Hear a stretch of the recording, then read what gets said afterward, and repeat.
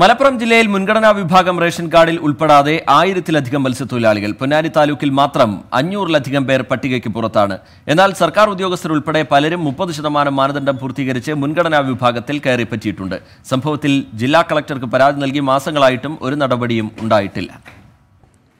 ചോർന്നൊലിക്കുന്ന ഓലക്കുടിലും തുടർച്ചയായുള്ള കടലാക്രമണത്തിൽ തകർന്ന വീടുകളിൽ അന്തിയുറങ്ങുന്ന ഈ മത്സ്യത്തൊഴിലാളികളെല്ലാവരും സർക്കാരിന്റെ കണ്ണിൽ സാമ്പത്തികമായി മുന്നോക്കം നിൽക്കുന്നവരാണ്. പൊന്നാനി താലൂക്കിൽ മാത്രം മുൻഗണനാ വിഭാഗം റേഷൻ കാർഡിൽ ഉൾപ്പെടാതെ അഞ്ഞൂറിലധികം മത്സ്യത്തൊഴിലാളികളുണ്ട്. പിന്നോക്ക വിഭാഗക്കാർക്ക് സർക്കാർ നിശ്ചയിച്ച മാനദണ്ഡങ്ങളിൽ മത്സ്യത്തൊഴിലാളി വിഭാഗത്തെ ഉൾപ്പെടുത്താതെ ജനറൽ വിഭാഗത്തിന്റെ മാനദണ്ഡങ്ങൾ പ്രകാരം ഇവരെ പരിഗണിച്ചതാണ് പലർക്കും തിരിച്ചടിയായത്. ഇത് ഞങ്ങൾ ഈ ഓലപ്പേരൊക്കെ ഇട്ട് താമസിക്കണ ഞങ്ങളിപ്പോൾ ഇങ്ങനത്തെ കാർഡ് കിട്ടി. ഇപ്പോൾ ഇന്ന് എന്റെ അവസ്ഥ ഉണ്ടല്ലോ ഇരുന്നൂറ്റി പതിനാറ് റുപ്യന്റെ അരി. വേണം മറ്റേ റേഷൻ കടയിൽ പോയി ചോദിച്ചാൽ മതി. ഇരുന്നൂറ്റി പതിനാറ് റുപ്യന്റെ അരിയാണ് ഇന്ന് ഞാൻ വാങ്ങിച്ചത്.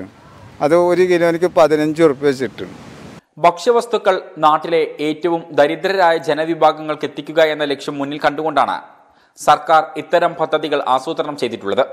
എന്നാൽ വരുമാനം മറച്ചുവെച്ച് സർക്കാർ ഉദ്യോഗസ്ഥരുൾപ്പെടെ പലരും മുൻഗണനാ വിഭാഗത്തിൽ കയറിപ്പറ്റിയിട്ടുണ്ട്.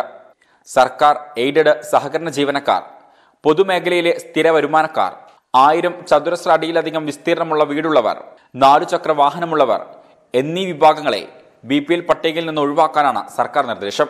എന്നാൽ ഇതൊന്നുമില്ലാത്ത പട്ടിണി പാവങ്ങൾക്കാണ് സാമ്പത്തികമായി മുന്നോക്കം നിൽക്കുന്ന വെള്ള റേഷൻ കാർഡ് അനുവദിച്ചത്.